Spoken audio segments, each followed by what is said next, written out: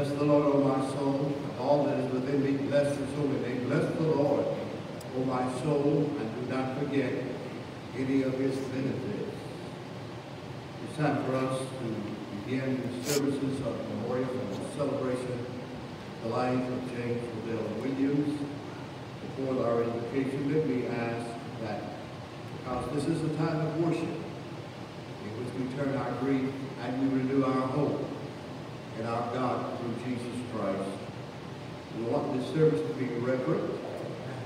We want it to be respectful of this family, sacred to the memory of James. So please uh, let us assist each other in that. If you have a cell phone or other noise-making device, please be sure that it's on silent. Uh, that's more than appropriate. So let's do that now at this time, please. Thank you so very much. Join me now for the invocation. Eternal God, our Father, we're so grateful to you for who you are to us.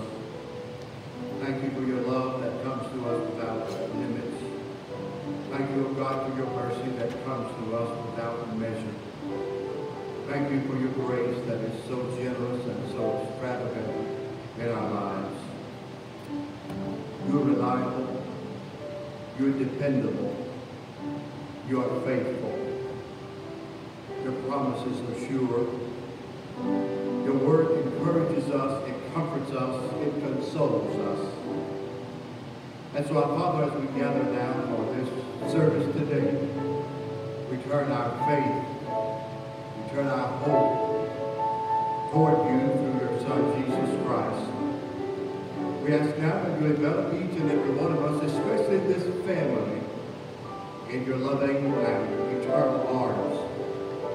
Strengthen us, comfort us, console us, support us. We ask, for God, that in everything that we say and everything that we do in this service today, first and foremost, it will bring glory to you, and may it bring strength and encouragement to all of us who gather today. Help us, oh God, to worship you. Help us to renew our hope. Help us to renew our faith in you. Remind us, our Father, that you're always with us. You never leave us. You never ever forsake us. And so now, Father, speak to us now. Lift us as only you can lift us. Love us as only you can love us. Bless us as only you can bless us. May it all be now for our good and for your glory. We ask this in the name of your Son and our Savior, the Lord Jesus Christ. And all the people said, Amen. Next on our order is a solo by Brother Greg Diggs. Receive the blessing the Lord has for us coming from him. Pray for him as he comes to do his ministry. Amen.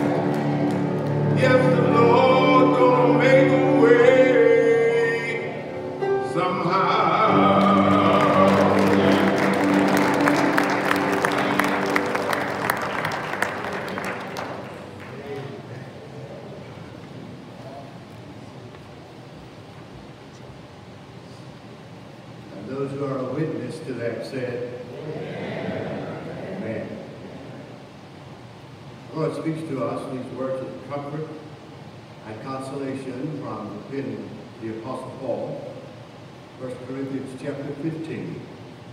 Beginning with verse 50 and reading through the end of that chapter, verse 58. Hear the words of the Lord. I declare to you, brothers, that flesh and blood cannot inherit the kingdom of God, nor does the perishable inherit the imperishable. Listen, I tell you a mystery. We will not all sleep, but we will all be changed in a flash in the twinkling of an eye at the last trumpet. For the trumpet will sound, the dead will be raised imperishable, and we will be changed. For the perishable must clothe itself with the imperishable, and the mortal with immortality. When the perishable has been clothed with the imperishable, and the mortal with immortality, then the saying that is written will come true. Death has been swallowed up in victory. Where, O death, is your victory? Where, O death, is your sting? Sting of death is sin. The power of sin is the law. But thanks be to God. He gives us the victory through our Lord Jesus Christ. Therefore, my dear brothers and sisters, stand firm. Let nothing move you. Always give yourself fully to the work of the Lord, because you know that your labor in the Lord is not in vain. This is the word of the Lord, and the people said, Thanks be to God. Amen. We share now together the silent reading of the obituary as we had it printed.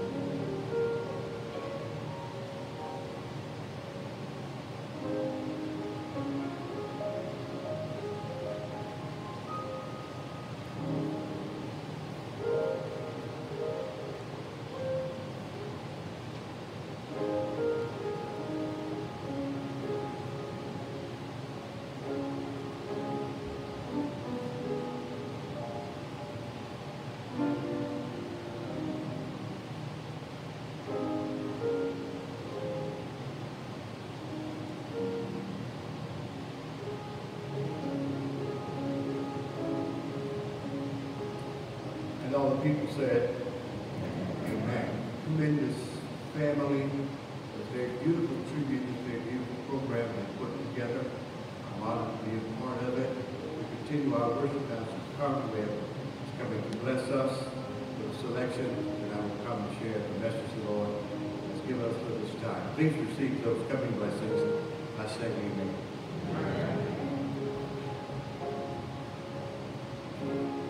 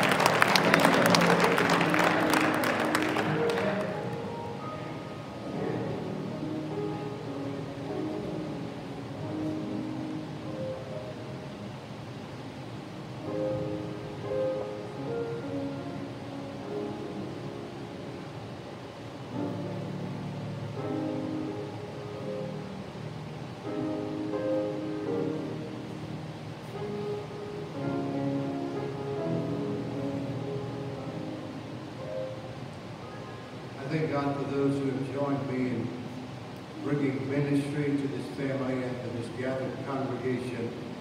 What a blessing they've been to me, and I know they've been a blessing to you as well. Could you join me in thanking them again? Be so you.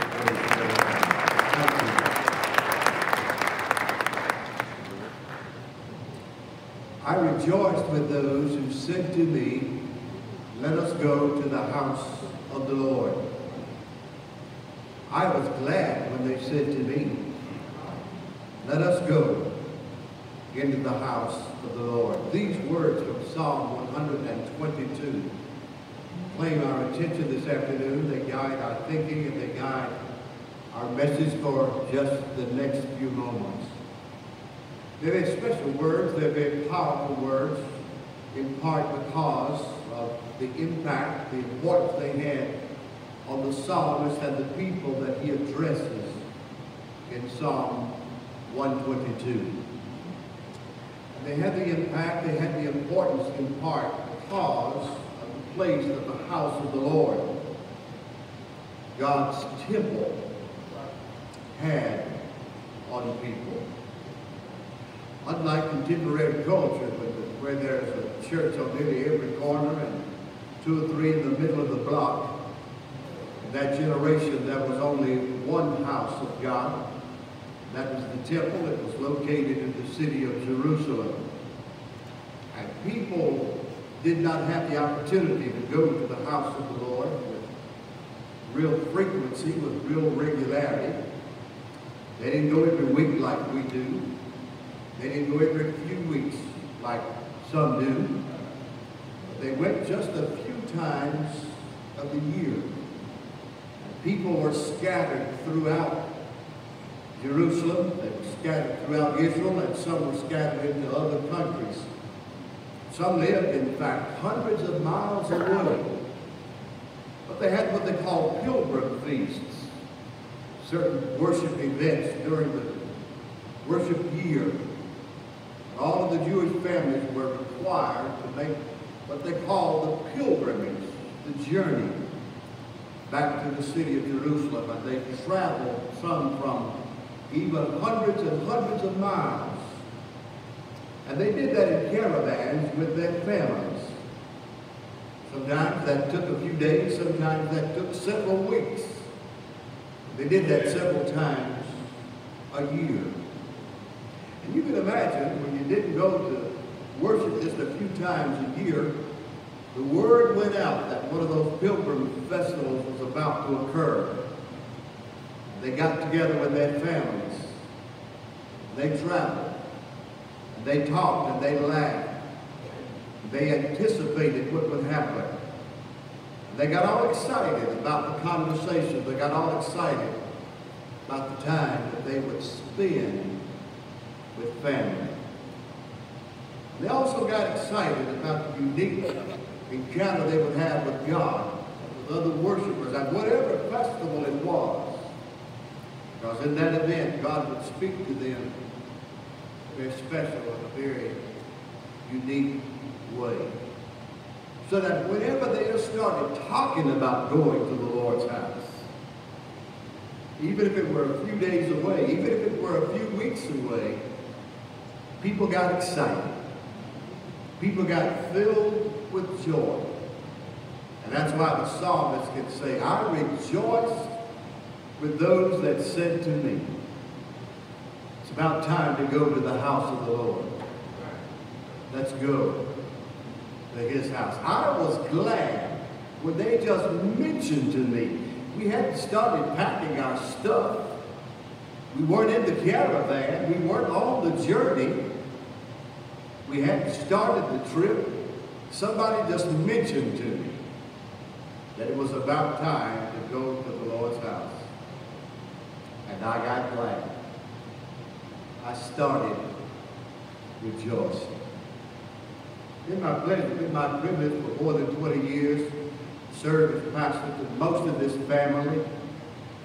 During that period of time, James has been sick off and on quite a bit. I discovered this about him, to visit him, the hospital, to talk with him, was to engage pretty quickly in a conversation about attending church. And I don't know of any single time, I can't think of one, I tried over the past several days, I visited him in the hospital, that the conversation didn't quickly turn to church attendance. And he always promised me, Pastor, when I get out, when I get better, I'm coming to church. Now, I'm happy to report to you today and unlike some folks that shall remain anonymous to protect the guilty, it's all right. I'm not going to anybody out. When he said it, he meant it. He kept his word. Isn't that a beautiful thing? To say what you mean and to mean what you say. And he got great delight when he would show up in church. He made it his business to wait until he had just a few minutes of chat with me in private, and he said, I told you I was coming, didn't? Yeah, brother, you did, and I'm grateful that you kept your word.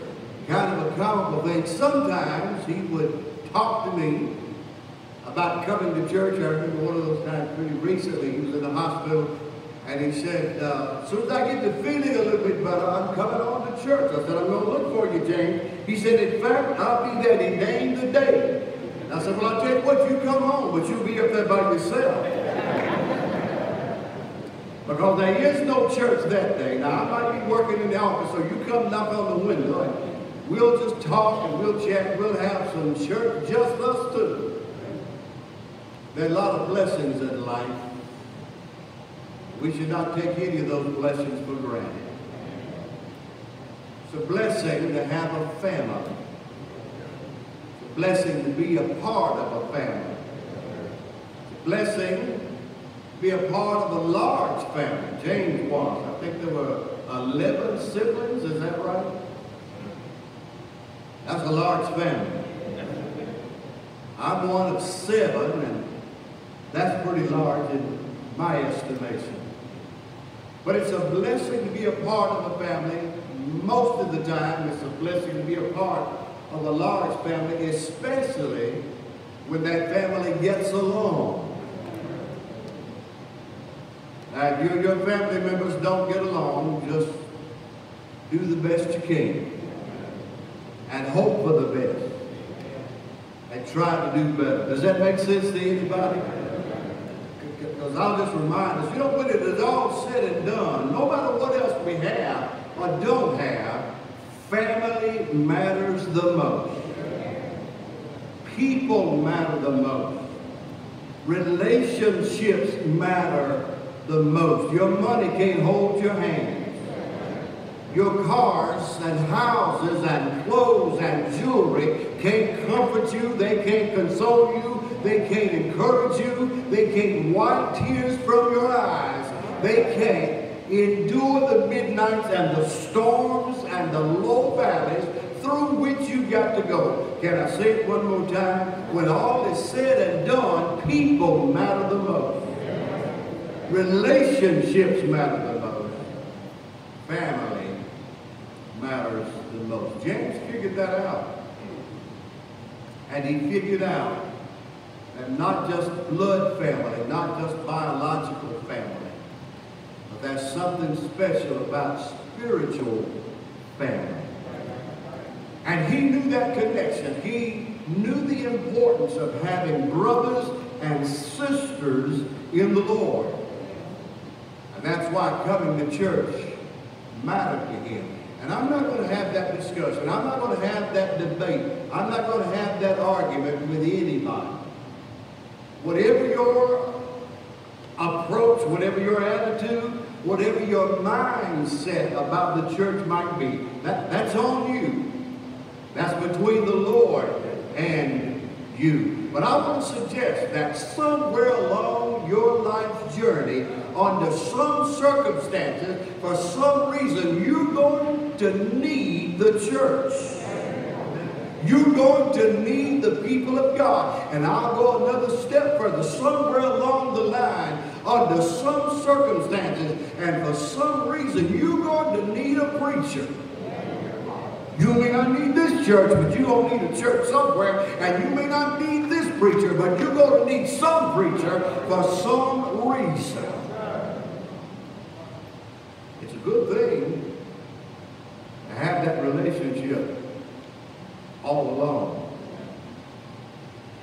It's a beautiful thing to have regard for the Lord's house. And it's even more meaningful when the Lord's house becomes your house. And when the Lord's people become your people. I rejoiced with those who said to me, let's go to the house of the Lord. I was glad.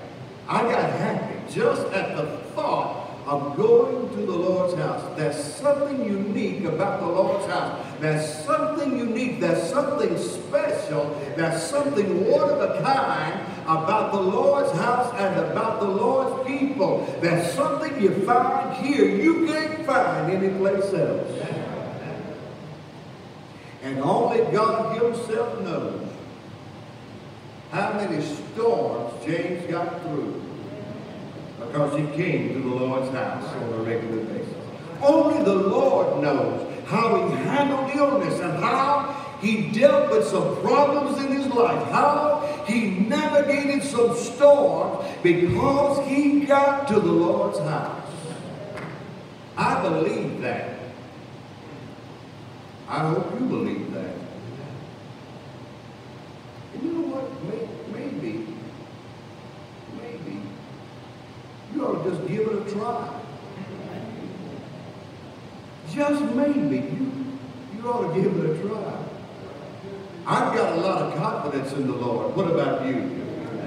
I've got a lot of confidence in what the Lord can do. And not only do I have a lot of confidence in the Lord, I've got a lot of confidence in the Lord's house and in the Lord's people and in fellowship with the Lord. I know there's some things that can happen in the midst of God's people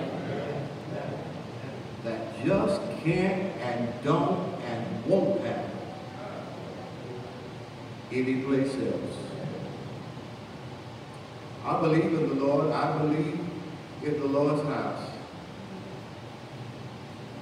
I believe in the Lord's people. We're just thawing out, right? The last few days have been kind of springy. Don't put your overcoats and your long johns away. That big snow and all that ice and all that. And did you see all those airline those flights were canceled? One airline is going to be fighting for survival, they say. People were stranded, some for a few hours, some for a few days, some for several days, some for a week or longer. And it was interesting to see how people responded to that because they were trying to get home. People just wanted to be home. They had places to go. They had people to see. Somebody drove 2,500 miles trying to get home. One woman was on a Greyhound bus, Charlotte to Nashville, Tennessee, for eight hours. Said, I don't want to be on this bus for eight hours. It would have been an hour and 20 minute airline flight, but this is the best I can do. Somebody else, it took them 3,500 miles to get to their destination. Somebody else was on the news and it took them several days, six or seven days, to finally reach their destination. Here's where I'm headed with all that. I don't know where you're going. I don't know where you're trying to get. I don't know what your destination is. But I come to tell you as I finish this afternoon, wherever you're trying to get, if you're trying to the only way for you to get home, the only way for you to reach your destination, the only way for you to have victory, the only way for you to have success, the only way for you to have joy and peace and contentment is to get right with God. It's to know the Lord and to let the Lord lead you and guide you.